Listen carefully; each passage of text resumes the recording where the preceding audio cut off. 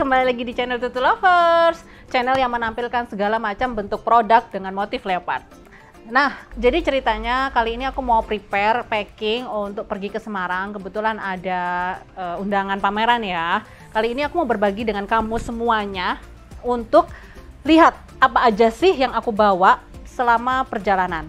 Karena kan kalau kemarin kita udah uh, bongkar semua koleksi tas aku, koleksi uh, sepatu, kemudian kali ini kalian bisa cek uh, semua koleksi leopard aku yang wajib dibawa pada saat perjalanan ya oke okay. yang pertama mungkin baju dulu ya Oh iya, kalau kopernya ini memang kebetulan aku punya motif koper leopard ada dua ya. Yang satu yang kecil, yang ini yang besar. Cuman karena ini perjalanannya lumayan, nggak lumayan lama sih. Cuman karena uh, beberapa mau ngambil konten juga, jadi perlu banyak bawa uh, beberapa baju biar ganti-ganti. Oke, okay, aku bawanya sih sebenarnya ya motif leopard juga ada karena kan uh, aku mau pameran. Jadi paling enggak pada saat jaga stand aku juga harus memakai kostum dengan motif leopard. Nah, sedangkan yang lain yang netral itu adalah kombinasi. Jadi kalau misalnya bawahnya udah uh, atasnya aku pakai atasan yang polos, lebih ke hitam atau coklat. Sedangkan kalau misalnya atasannya leopard itu bawahnya ya pakai yang polos. Ke, mungkin kalau casual itu perpaduannya dengan jeans, kalian bisa pakai jeans. Kemudian kalau misalnya mau agak uh, resmi formal bisa gunakan celana hitam ya. Ini aku taruh baju dulu. Baju. Oh iya, aku juga selalu bawa handuk.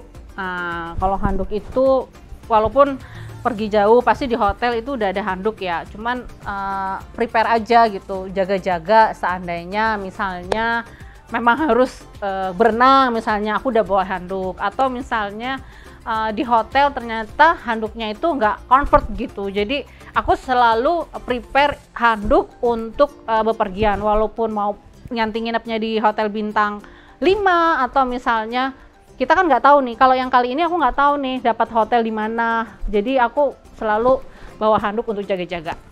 Oke. Ini baju lumayan sih lumayan banyak. Setelah baju ini mukena. Kemudian ini juga ada apa namanya pakaian dalam ya. Nah setelah ini ini yang paling penting nih.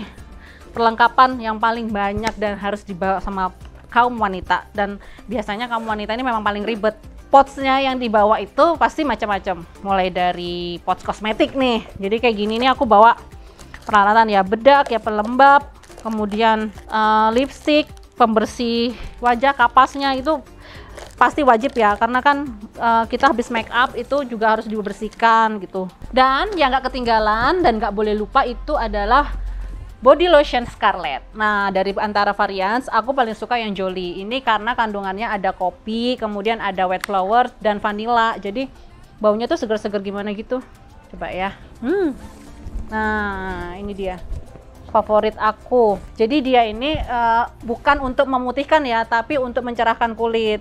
Uh, persis dengan apa yang aku cari karena kan aku udah lumayan putih. Jadi tinggal butuh suatu produk yang mencerahkan kulit aja alat makeup udah. Selanjutnya ini persiapan untuk alat mandi. Jadi walaupun di hotel selalu aku bawa alat mandi. Ini wajib. Jadi aku selalu bawa pots yang ini. Ini selalu udah siap. Jadi ke mana pun aku pergi aku tinggal ngambil. Nah ini ada sikat gigi. Kemudian satu lagi yang terbaru dari Scarlett jadi selain ada hand bodinya tadi, Scarlett mengeluarkan body scrub uh, dengan wangi yang sama dengan hand bodinya. Yang ini ada Jolie, sama dengan yang tadi ada Charming, ada Freshy. Nah seperti ini. Ini versi full size-nya. Nah ada versi travelingnya nih, mini uh, mini size-nya ini ada tiga juga. Jadi uh, ini oke okay banget kalau misalnya aku mau taruh di pots yang kiranya dalam tas. Jadi kan biasanya kita kalau misalnya pergi jauh tuh ke toilet umum ya. Jadi ini tuh uh, oke okay banget buat ditaruh di pots uh, yang kecil. Jaga-jaga misalnya kita mau cuci tangan atau misalnya kita harus ke kamar mandi itu ini oke okay banget. Uh, jadi untuk alat mandinya tadi aku bawa lagi-lagi yang aroma Jolly. Oh ya, satu lagi nih. Aku mau bawa body scrubnya Scarlett juga. Karena nanti setelah pameran aku mau extend tuh satu hari nginep di cottage yang ada di Bawen. Jadi ada kolam renangnya aku udah bayangin tuh nanti habis pameran kan capek tuh ya. Jadi pengen uh, apa istirahat sambil santai-santai di pinggir kolam renang dan memakai body scrubnya. Hmm wanginya. Uh oke okay banget ya. Jadi selain tadi sabun aku bawa ada juga uh, ini body scrubnya. Oke selanjutnya yang dalam tas wajib aku bawa itu ini ada shopping bag. Kemudian oh iya jadi aku tuh selalu ke mana-mana nggak lupa membawa ini ya kayak tote bag gitu. Kenapa? Karena kalau perjalanan jauh itu aku biasanya kan bawa tas ransel kebetulan ini kayak uh, itu ya bukan perjalanan yang cantik-cantik karena aku mau pameran pasti harus gotong-gotong kemudian juga harus ngangkat-ngangkat barang. Jadi aku pilih tas yang memang benar-benar bisa nyaman sama aku. Jadi aku bawa tas ini jadi kenapa aku bawa yang ini? Itu biasanya kalau misalnya malam mau cari makan atau hanya buat jalan-jalan santai aku sudah bawa tas yang ringan gitu nggak bawa tas yang seperti ini gitu. Kemudian peralatan lagi yang wajib aku bawa itu adalah ini adalah berbagai macam obat-obatan mulai dari minyak angin, terus kemudian obat pusing, obat batuk, obat diare karena uh, itu kan obat-obat yang sebenarnya penting buat aku sih karena buat jaga-jaga ya kalau di jalan terus kepepet belum ketemu apotik ya itu sudah ada seperti itu. Nah ini satu lagi ini adalah pots yang peralatannya wanita jadi kayak misalnya ada pembalut. Nah ini juga aku masukin nih. Ah nih ini salah satu body scrub yang mini size aku masukin satu di sini. Kemudian di koper itu aku biasanya juga selalu nyiapin mana tadi ya. Oke aku masukin di sini aja deh. Di tempat uh, kosmetik.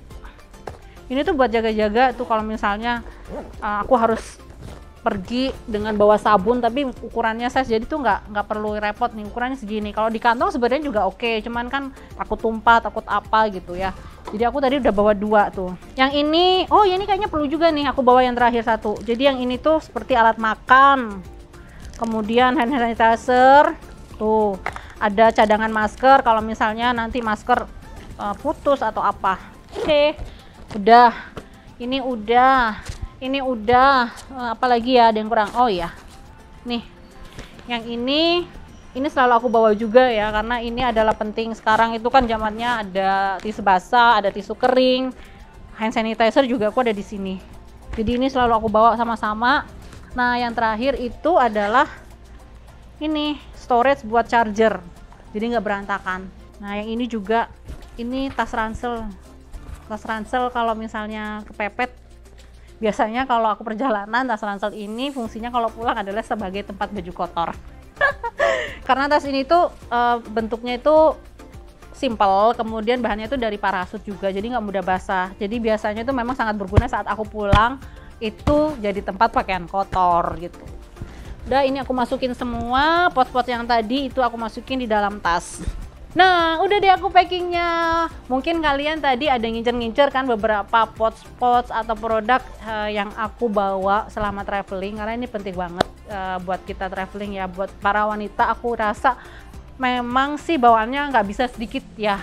Jadi kalau misalnya aku tuh tipe orang juga yang well prepare, jadi tuh pengennya semua tuh ada gitu. Terutama hal yang kayak tisu basah, sabun, tuh, sabun itu itu harus dibawa. Apalagi sekarang zamannya corona pengalaman aku kalau di tempat umum itu sabun cuci tangan itu sangat minim sekali. Atau bahkan tuh kadang kita menemukan ada wastafel ada sabun cucinya tapi encer banget atau habis. Nah gunanya tadi aku saranin kalian untuk membawa yang kemasan kecil ini karena walaupun dia memang mungkin fungsinya itu kan buat badan tapi karena kemasannya ini aku sangat uh, prefer banget untuk dibawa ke mana-mana. Jadi kan sekarang ini juga musimnya kita harus jaga kesehatan dan kebersihan dengan selalu mencuci tangan. Jadi aku kenapa senang banget uh, ini selalu di dalam tas aku supaya nanti kalau misalnya aku mau cuci tangan tuh nggak repot nih ukuran saya segini masuk di sini tuh udah aman banget nah ini dia oke kan Oke, packingnya udah, pakaian perlengkapan mandi, perlengkapan pribadi udah. Mungkin habis ini aku mau siapin untuk barang-barang yang dibawa pada saat pameran. Kalian yang mungkin tertarik dengan produk pots-pots aku tadi atau beberapa produk aku, kalian bisa langsung aja cek di Instagram aku di @loversleopard atau di @tutul.lovers. Oke teman-teman, aku mau pamit dulu ya karena aku mau packing yang lainnya. Besok aku harus berangkat pagi supaya nanti sampai sana udah nggak terlalu sore. Sampai jumpa lagi di video aku selanjutnya. Sampai jumpa di Unique with Tutul.